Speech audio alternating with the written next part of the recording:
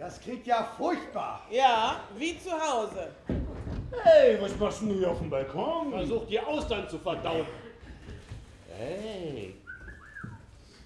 Äh, Und wie viel hast du gegessen? Ich hätte gar keine essen sollen. Ich habe 16 gegessen. Weißt du auch warum? Nee, nach Muscheln ist gut kuscheln. Warum hast du das gesagt? Ich weiß nicht. Ich studiere Medizin? Mann, ich bin Metzger!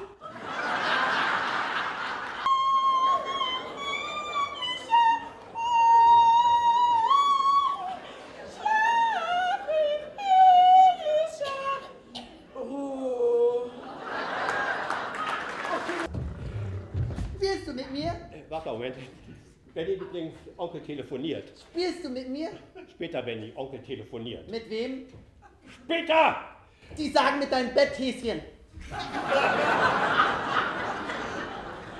Ah, und nochmals vielen Dank.